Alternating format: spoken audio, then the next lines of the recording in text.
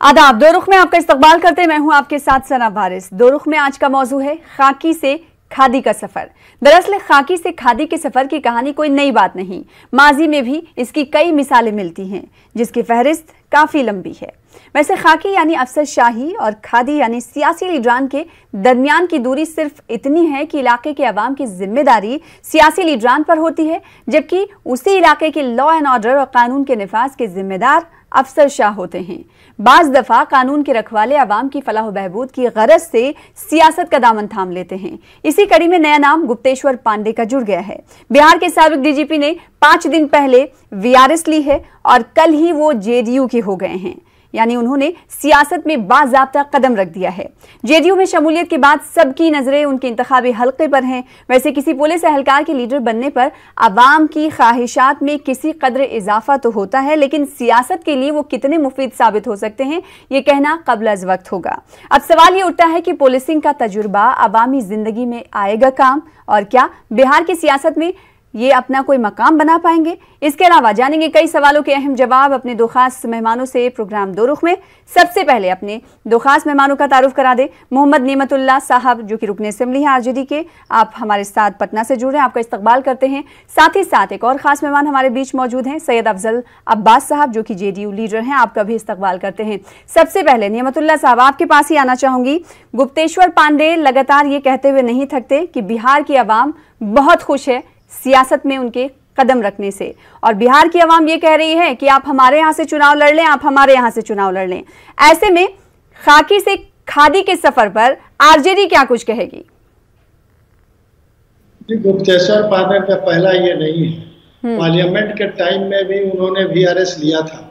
और चुनाव लड़ने के लिए बक्सर से अपनी ख्वाहिश ज़ाहिर की थी। जी। लेकिन वहाँ बीजेपी ने उनको घास नहीं डाला वहाँ से अश्वनी कुमार चौबे जी चुनाव लड़े और वो जीते आज मंत्री हैं स्वास्थ्य मंत्री उसके बाद से मैनेज करके कैसे कैसे फिर बी आर एस को इन्होंने वापस लिया अब फिर वो सरकार में गहरी पैठ होने की वजह से उन्होंने फिर डीजीपी का अहदा संभाला। अहदा संभालने के बाद से तुरंत असेंबली का बजट सेशन चल रहा था। हम्म। वहाँ गुप्तेश्वर पांडे आए और एक एम एल से हाथ मिलाया उससे मिले और उन्होंने बहुत गर्मजोशी से मुलाकात की। तो उनका नियत पहले ही था कि हम कैसे सियासत में आ जाएँ। और जब अपने अहदे पर थे तो उनका जो वो सब पोलिटिकली काम कम आभार तो गुप्तेश्वर पांडे का रिकॉर्ड रहा। है यानी सियासी उनसुर उनमें पहले से पिना था। ये वक्तन फवक्तन इसका इजहार भी किया करते थे। चाहे वो ट्विटर के ज़रिए हो, चाहे कोई और सोशल मीडिया प्लेटफॉर्म हो। अफजल साहब अफजल साहब, आपके पास आना चाहूँगी इस सवाल के साथ। जेडीयू का दामन तो थाम लिया है, लेकिन अब सवाल ये उठता है कि आखिर वो चुनाव कहाँ से लड़ेंगे? वाल्मीकि नगर से या फिर बक्सर से? देखिए इसका फैसला पार्टी के राष्ट्रीय माननीय मुख्यमंत्री जी करना है। जहाँ तक गुप्तेश्वर पांडे जी का सवाल आप कह मैं मैं इनको उस वक्त से जान रहा तो सैयद शाहनवाज साहब के ओजी हुआ करते थे। हम्म। एक अच्छे आदमी है नेक आदमी है और समाज के हर वर्ग की खिदमत करने का जज्बा रखते हैं। और इसी बुनियाद पे बी बीआरएस पे आज चीमा भैया हो रही है कि क्यों ज्वाइन कर लिया क्यों बहुत से चैनलों पे डिबेट नहीं आपने कहा आपने कहा कि वीआरएस इसीलिए ले लिया तो पहले भी ले सकते थे। इस बार जो वीआरएस लेने के जो जाबते होते हैं उसको भी नजरअंदाज किया गया है। वीआरएस लेने के बाद किसी सियासी पार्टी में ज्वाइन करने या पॉलिटिक्स को ज्वाइन करने का जो जाबता होता है उसको भी नजरअंदाज कर दिया गया। तीन महीने का नोटिस पीरियड होता है वो भी नजरअंदाज किया गया। वो जाबते के दायरे में मैं ये कह रहा हूँ कि चूँकि हम्म। 2000 बीस के बाद 2025 में असेंबली का चुनाव होगा 2024 में पार्लियामेंट का चुनाव होगा, और अभी हाल ही में चुनाव होना है, हो रहा है अनाउंसमेंट भी हो गया तो मैं समझता हूँ कि इसी नज़रिए से उन्होंने बीआरएस लिया। कुछ ही दिन की उनकी और सर्विस थी। अच्छे आदमी नेक आदमी है, अगर वो काम करना चाहते हैं, समाज की खिदमत करना चाहते हैं, सब जो पुलिस अफसर होकर उन्होंने काम किया, लोग खिदमत की, अब बाकी ज़िंदगी समाज की सेवा करना चाहते हैं तो मैं समझता खिदमत करते हैं इसमें किसी को इतराज होना चाहिए। ये वेलकम करना चाहिए जबकि आज इसके पहले भी कांग्रेस में भी बीजेपी में और भी और कई पार्टियों में। I S I P S मतलब एमपी भी रहे हुए हैं। पार्टी में भी है बड़े पदों पे है मंत्री भी रहे हुए हैं। हम्म। जसवंत सिन्हा का नाम लीजिए जसवंत सिंह का नाम लीजिए बहुत सारे लोग हैं। पुनिया साहब का नाम लीजिए बहुत सारे ऐसे भी हैं जो लोग I S I P S रहे हुए हैं। और, और वो सियासत में है। तो अच्छी बात हमारे यहाँ आर सी पी सिंह साहब जो। आई एस थे वो आज राज्यसभा के लीडर ऑफ़ द हाउस है। हमारी पार्टी में कोई कोई खिदमत करने का जज्बा अगर है तो कोई बड़ी बात है नहीं। करना भी चाहिए। कोई बड़ी बात नहीं है और ज़ाहिर सी बात है कई नाम है। अगर हालिया नाम गिनाने की मैं कोशिश करूँ तो अरविंद केजरीवाल किरण बेदी इस तरह से कई नाम आपके टिप पर ही आ जाएँगे। अ, फिंगर टिप पर ही आ जाएँगे। आपके पास आती हूँ मोहम्मद नेमतुल्ला साहब। आपकी साथी कांग्रेस महाराष्ट्र कांग्रेस ने एक बयान दिया है कि उस शख्स को टिकट दिया है जेडीयू ने जिस शख्स ने महाराष्ट्र की पुलिस मुंबई पुलिस अ, पर टिप्पणी की और उनकी इंसल्ट की तो इसलिए उन्हें तकलीफ़ हुई है। तो क्या ऐसी तकलीफ़ आरजेडी को भी हुई है? ये तो गरिमा गिराया है। ये आईपीएस का गरिमा गिराया है इन्होंने। टीआरएस दो दो मरतबे लेके और उसको वापस लिया। फिर उसके बाद से वो कोई नॉर्म्स इसको फॉलो नहीं किया और तुरंत सियासत नहीं तो आप आखिर कौन नॉर्म्स फॉलो नहीं करने देता? ये बता दीजिए। नियमतुल्ला साहब। जी जी वही करे नॉर्म फॉलो नहीं किया और सियासत में किया इन्होंने सुशांत का केस लेके जो तकरीर की थे सुशांत को तो न्याय दिला ना सके। आप अपने सियासत में कूद गए। अब इस तरह से इनका शुरू से बिहेवियर रहा है। तो वो संदिग्ध रहा है इस तरह से कि कब क्या कह जाएँगे वो इनको खुद नहीं मालूम है। कई मरतबे नीतीश जी भी मुख्यमंत्री जी भी इनको कहे कि भाई बोलिए कम काम करिए ज़्यादा। इसलिए ये अफसर रहते हुए इतने बड़े पोस्ट पर रहते हुए इनका सिर्फ़ भाषण चलता था। एक्शन कुछ नहीं काम कुछ नहीं। लॉ एंड ऑर्डर पर तो कोई इनका पकड़ था नहीं। आए दिन लॉ एंड ऑर्डर बिगड़ता था। और सब डायरेक्ट दोष देते थे। छोटे छोटे अफसरों को दोष देते थे। अपने कमांड नहीं कर पाए। इसलिए आज सियासत में ऐसे लोग बहुत लोग हैं रिटायर करने के बाद से। अभी अ- अभी सुनील राम जी हैं वो भी एडीजी रैंक के थे। उन्होंने भी जाके नीतीश कुमार से मिली। वो भी सुनते हैं कि वो भी सियासत में कूदेंगे हुए कहीं से कहीं से इलेक्शन में। बहुत से आर के सिंह हैं अभी। वो भी आरा से चुनाव पार्लियामेंट के लड़े अभी मंत्री हैं। बहुत से नहीं तो देखिए जमहूरियत में तो हर किसी को इख्तियार है मोहम्मद नियमतुल्ला साहब। जमहूरियत में किसी को भी इख्तियार है कि वो कुछ भी करे। जी जी बिल्कुल वो जमहूरी कुछ भी करने का इख्तियार नहीं है। कुछ भी इन सेंस साथ जो करने का इख्तियार है। जमहूरियत का मतलब ये नहीं है कि हम कुछ भी कर लें।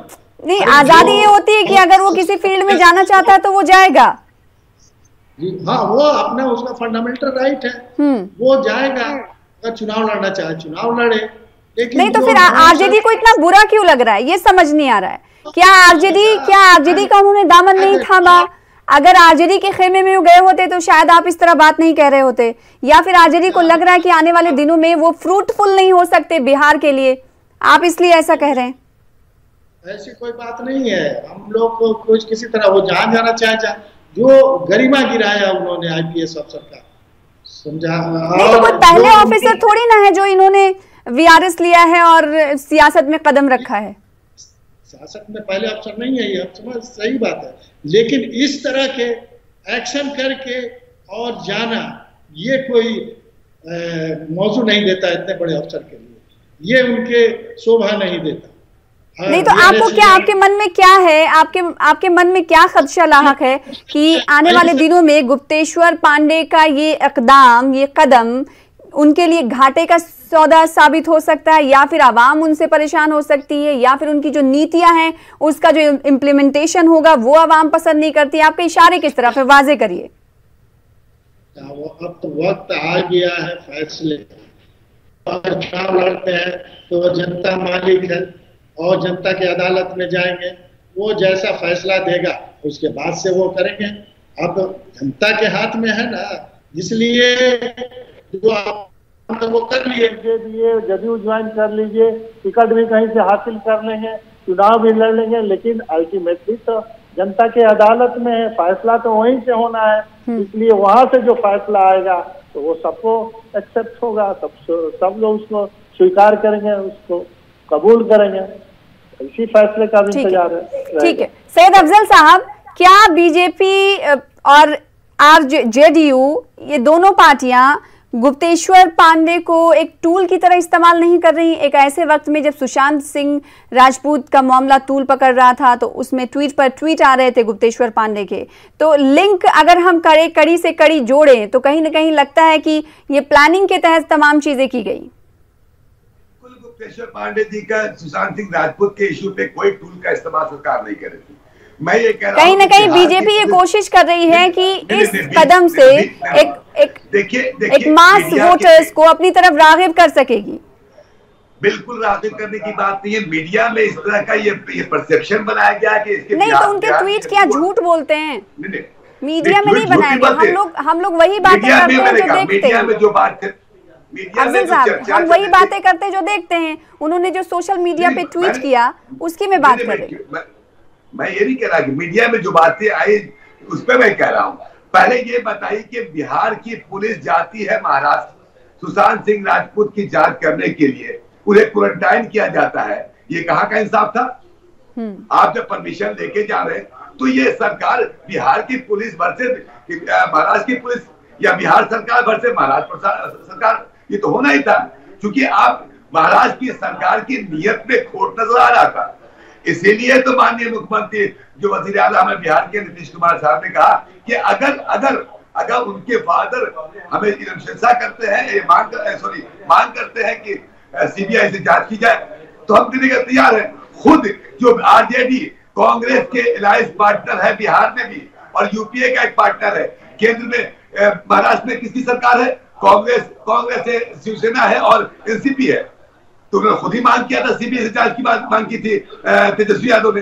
तो हमने, हम तो यही चाह रहे थे कि दूध का दूध, पानी का पानी हो जाए। सुशांत सिंह राजपूत की हत्या हुई या उन्होंने खुदकशी की?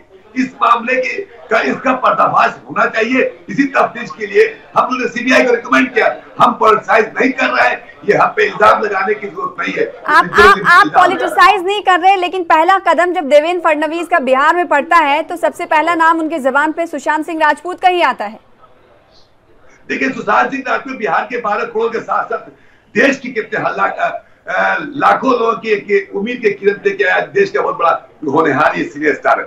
नो डाउट कम वक्त में दुनिया में नाम कमाया। तो मैं बिहार की बिहार की बिहारी होने के नाते मुझे गर्व था कि एक अच्छा लड़का जो नाम कर रहा बिहार का नाम रोशन कर रहा तो सेंटिमेंट तो अटैचमेंट तो बिहार के आवाम का था ही और रहेगा भी। तो इस बुनियाद पे तो हम सपोर्ट तो करेंगे ही कि कोई भी आपके परिवार का आपके घर का कोई बच्चा अगर आगे बढ़ता है तो आपको कितनी खुशी होती है कि मेरा बेटा मेरे घर के भाई भतीजा जो भी आगे बढ़ गया आई बन गया मिनिस्टर बन गया उसकी मेहनत तो एक लड़का एक, एक एकदम आगे नाम कमाया कम वक्त में तो तो बिहार के लोगों को तो गर्व होना ही चाहिए था फख्र था। ठीक यहाँ पे कुछ लोगों को एतराज़ भी है लेकिन हमें हमें अपने आप पे फख्र है कि हमारा एक नौजवान जो देश ने दुनिया में नाम कमाया उसकी जाँच होनी चाहिए ताकि ताकि दूध का दूध, पानी का पानी इसके अलावे हमने कोई पॉलिटिसाइज नहीं किया, ना हमारे मुख्यमंत्री ने किया, ना पार्टी के नेताओं का बयान भी आया। नियमतुल्ला साहब, सीधे तौर पर आपने अफजल साहब को सुना, उन्होंने कहा, सुशांत सिंह के इस मामले में जेडीयू की तरफ़ से कोई पॉलिटिसाइज करने की कोशिश नहीं की। आरजेडी को क्या लगता है कि आरजेडी ने जिस तरह कोशिश करनी चाहिए थी, उस तरह कोशिश नहीं की, या फिर जेडीयू जानबूझकर एक मास वोटर को अपनी जानिब रागिब करने के लिए तमाम हथकंडे अपना रही थी, कोशिशें कर रही थी।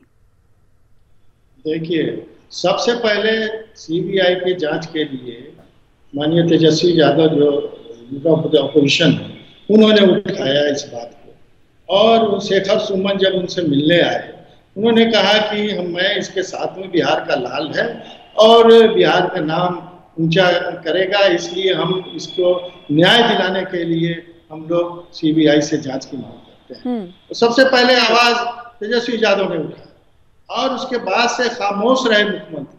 सदन में भी तेजस्वी यादव जब एक दिन का हाउस चला वहाँ भी जब बात उठी तो वहाँ भी तेजस्वी यादव ने कहा कि नहीं इसकी सीबीआई से जाँच करें और आज इसे सदन में पास प्रस्ताव पास किया जाए कि सर्वसम्मति से कि इसकी सीबीआई को हैंडओवर किया जाए। ठीक है ये मामला ठीक है ये मामला तो है लेकिन अपोजिशन भी इस बार कहीं ना कहीं खामोश होती हुई दिखाई दी।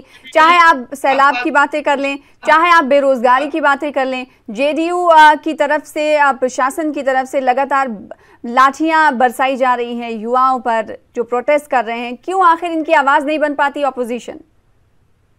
अपोजिशन का शुरू से आवाज़ उठा रहा है बेरोजगारों के लिए। और जो पलायन किए हुए हैं और जो घर आ रहे थे तो कौन उसने उसमें ये किया? तेजस्वी यादव ने शुरू से कहा कि जो हमारे घर में पंद्रह सौ किलोमीटर से जो आ रहे हैं उनके लिए आने का इंतज़ाम करो।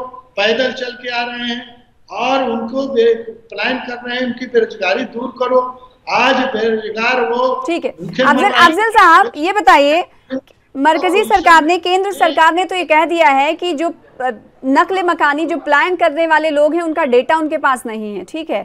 नीतीश कुमार ये कहती है कि वो मजदूरों के साथ है अकलीतों के साथ है बेरोजगारों के साथ है। ऐसे में जब लॉकडाउन हुआ तो बिहार सरकार वहाँ पर भी आपकी डबल इंजन की सरकार है तो बिहार सरकार आखिर या जेडीयू ये बताने से कासिर क्यों है कि कितने मजदूर हमारी रियासत में आए थे, क्यों आंकड़ा नहीं दे पा रही सरकार? सरकार को दे देना चाहिए? ठीक है मरकजी सरकार नहीं दे पा रही, रियासती सरकार को तो पेश करना चाहिए।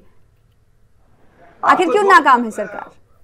देखिए फ्लैशबैक में जाइए, मैं दिल्ली में था जब ये लॉकडाउन हुआ था। याद कीजिए, तेजस्वी यादव दिल्ली की दिल्ली की सरजमी पे बैठ के ट्वीट पे ट्वीट करते हैं मैं बसाते खुद, मैं अपनी बात कर रहा हूँ। मैं एक जेडीयू का कार्यकर्ता होने के नाते कोरोना में हमारे घर के बच्चे भी, हमारे पार्टी के वर्कर भी हम हत्तल इनकार कोशिश किया कि जो बिहार के लोग हैं जो जो जो हैंड टू माउथ है उनके पास खाने का सामान ही हमने राहत सामग्री पहुंचाई। ये बैठ के तेजस्वी यादव ट्वीट कर रहे थे खाली। राहत सवाल आप जो आप जो कह रही कि डाटा की बात कितनी ट्रेनें आई? सबको लाया गया। अब लॉकडाउन का मतलब क्या था? इनको परिभाषित करना पड़ेगा। जब केंद्र सरकार ने ये एडवाइजरी जारी कर दी थी उस वक्त कि कोई कोई नहीं जा सकता है तो हमने तो यही कहा था केंद्र सरकार ये कह दे कि जितने लोग हैं वो अपने अपने अपने अपने प्रदेशों बुला ले। तो हमने सरकार के गाइडलाइन का पालन किया उसका अनुसरण किया। हमने इनकार नहीं किया। लेकिन जब इस तरह से प्रेशर दिया अफजल साहब। बिल्कुल गलत नहीं बोल रहे आप बिल्कुल नहीं। क्या लोग मालूम होना चाहिए कि यूपी सरकार मतलब क्या होता बता दिए। बुलाया। छत्तीसगढ़ के लोगों को मैं तो मैंने तो यही कोटा से। और गलत था गलत था मैं कह रहा हूँ ने कहा कि लोग जहाँ है वहीं रहे। लेकिन जब बिल्कुल हमने 22 लाख लोगों के खाते में एक हज़ार सरकार झुकी और लोगों सुनिए उसके पहले जो बिहार के प्रवासी लोग दे रहा हूँ। नेमतुल्ला भाई सुन लीजिए विधानसभा में बोलिएगा बहुत सारे कम बोलिए हम बता रहे बड़े आदमी हैं हम बड़े नहीं है हम तो छोटा सा एक करता है। मत कीजिए। आप बाईस लाख लोगों के अकाउंट में हज़ार हज़ार रुपए मंत्री ने कहा जबकि यूपी के लोगों ने यूपी सरकार ने कोटा से सुन लीजिए। देश के अलग अलग राज्यों में अलग अलग सूबे में बिहार के आवाम के खाते में और रिकॉर्ड में बोल रहा हूँ बाईस लाख लोगों के खाते में एक हज़ार रुपया गया। फ़िलहाल मैंने कोशिश की कि कुछ राहत मिल जाए। ठीक है। तो अफजल साहब अफजल साहब अच्छा ये बताइए अफजल साहब क्योंकि आपकी सरकार और आपकी सरकार से सवाल पूछना लाजमी है। अगर बात बेरोजगारी की हम करें तो बेरोजगारी का आंकड़ा एक रिपोर्ट के मुताबिक 2015 से लेकर 2020 में 36 परसेंट से लेके 36 फ़ीसद से लेके 42 पे पहुँच गया है। इसकी ज़िम्मेदारी कौन लेगा? देखिए कोरोना कोरोना आप सब कोरोना पे मत डालिए। कोरोना अभी छह महीने से हुआ है। सुनिए मैडम आज कितने लोग देश स्तर पे बेरोजगार हुए बताइए आप। कितनी कंपनियाँ बंद हो गई? सारे तो बेरोजगारी तो बढ़ेगी तो बेरोजगारी जब बढ़ेगी नहीं तो, तो क्या पाँच साल में चार साल आपको वक्त नहीं मिला था? मैं जो आप जो चौतीस से बयालीस की बात कर रही है जो एवरेज बता रही है कितना इतना गरीबी इतना बेरोजगारी बढ़ गई मैं उसकी बात कर रहा हूँ। मैं उसी की बात कर रही हूँ मैं कह रही सिर्फ़ और चार सालों में पैराडेमिक में हिंदुस्तान नहीं पूरी अमेरिका ऐसा मुल्क भी जो है सुपर पावर रहता है वो भी परेशान है। अब सारी कारखाने बंद हो गए लोग मजदूर जो बेरोजगार हो गए तो एक तरह से ये कहने इलाहिक है और ऐसी विपदा में हम सब मिलकर लड़े और अल्लाह का शुक्र है कि आज आज कम से कम से कम हम औरों के ऊपर इस पर अमेरिका के तरह हिंदुस्तान में मौतें नहीं हुई। नियमतुल्ला साहब जेडीयू से जब ये सवाल किया जाता है कि आखिर बेरोजगारी इतनी बढ़ी क्यों तो वो कोरोना को जिम्मेदार ठहराते हैं। उनसे सैलाब मुतासर इलाकों की एक कारण हाल चाल जानने की कोशिश की जाए। तो ये कहते हैं कि ये आपदा है तो फिर सवाल किससे करें? सवाल किससे करें? इसकी ज़िम्मेदारी किसकी बनती है? मुखिया की ज़िम्मेदारी बनती है ना? बिल्कुल बनती है। देखिए लेकिन देखिए झारखंड एक, एक बड़ी बात है कि आज हर जगह जगह खाली है। आज स्कूल में टीचर नहीं है। आज डॉक्टर हॉस्पिटल में नहीं है। पारा में, ए, ए, मेडिकल का स्टाफ कहीं नहीं है। आपको इतना बुरा हाल है कि आप देखिए एक नया सर्कुलर उर्दू पर जारी कर दिया गया इन्होंने ऑर्डर निकाल दिया। कि जहाँ फोर्टी नाइन लड़के रहेंगे वहाँ उर्दू टीचर नहीं रहेगा। और उस ऑर्डर को वापस नहीं नहीं लिया।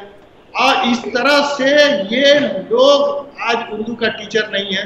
आज हिंदी के जगह पर संस्कृत का टीचर पढ़ता है। संस्कृत के जगह पर मैथ का टीचर पढ़ाता है। इतनी ये वैकेंसियाँ कई बार देखने को मिलता है न्यूज़ एटीन उर्दू भी इस मसले को उठाता है कि आखिर उर्दू के साथ इतना सौतेला सुलूक सुशासन बाबू आ, की सरकार में क्यों? अफजल साहब आपके पास आना चाहूँगी इस सवाल के साथ। जब 2015 में इलेक्शन हुए थे तो उस वक्त की तस्वीर अलग थी। जेडीयू आरजेडी ने साथ मिलकर चुनाव लड़ा था लेकिन 2020 की तस्वीर अलग है। जेडीयू अपने मकाम पर काबिज है लेकिन साथी अलग है। बीजेपी के साथ अब इंतखाब लड़ने वाले हैं लेकिन पहले जो तस्वीर बनी थी वो अलग थी। आपको लगता है क्या इस बार कहीं ना कहीं वोटर खिसकेगा? देखिए बिहार का चुनाव बिहार का चुनाव पंद्रह साल का पंद्रह साल भी है। पंद्रह साल में क्या था पंद्रह साल मैंने क्या किया? बिहार का एक सवाल ये भी उठेगा कि बिहार के लोग बहुत ही पॉलिटिकली कॉन्सियस होते हैं कि नाइन्थ क्लास फेल चाहिए कि इंजीनियर चाहिए। जिसके बाद नहीं नहीं मेरा सवाल ये था कि तस्वीरें अब बदल चुकी हैं। जो दोस्त थे वो दुश्मन हो गए। लेकिन लेकिन लेकिन लेकिन जनता सब जानती है। नेतृत्व किसका था? नीतीश कुमार के नेतृत्व में चुनाव लड़ा गया था। ना कि तेजस्वी के नेतृत्व में लड़ा गया था। ना लालू यादव के नेतृत्व में चुनाव लड़ा गया था। मुख्यमंत्री किसको प्रोजेक्ट किया गया था बताइए मुझे आप। पंद्रह में भी पंद्रह में तो नीतीश कुमार ही थे। चेहरा तो नीतीश कुमार थे। मैं तो चेहरा तो नीतीश कुमार थे चेहरा अभी भी नीतीश कुमार है है। लेकिन साथ बदला है ना। बगैर साथ के आपको चेहरा कैसे नसीब हो पाता? मैं मैं तो कह रहा हूँ सोलह साल तक हम बीजेपी के साथ रहे। 2005 2000 से पाँच से 2010 2010 से 2015 उस वक्त भी हम बीजेपी के साथ रहे।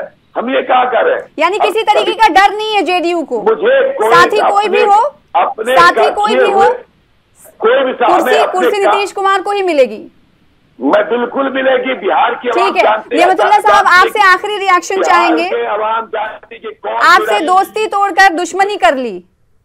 जी क्या हमदर्दी के बिना पर इस बार वोट मिलने वाले हैं आरजेडी को? ऐसा महसूस कर रही है आरजेडी क्योंकि इस बार लालू के बगैर आप चुनावी मैदान में होंगे लालू प्रचार के लिए भी नहीं जाएँगे। देखिए मैंडेट के साथ धोखा किया।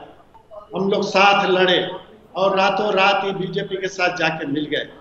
आज जो भी एक्शन है इनका, वो आरएसएस के गोद में बैठे हुए हैं और जो भी अकलियतों के साथ या दलितों के साथ या जो अति पिछड़ों के साथ जो ये व्यवहार कर रहे हैं, इनको सबक सिखाएगी जनता।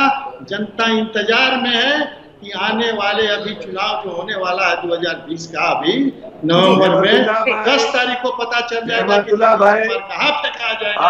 पता पता नहीं लगेगा बिहार से इनको खारिज मैं कर सवाल पूछूँ आपसे। हैं विकास का मेरा एक सवाल आपसे है। दो दिन के अंदर पूरा जाता है। दो सौ चौसठ करोड़ दिन जाके लालू यादव के घर पे गुहार लगा देते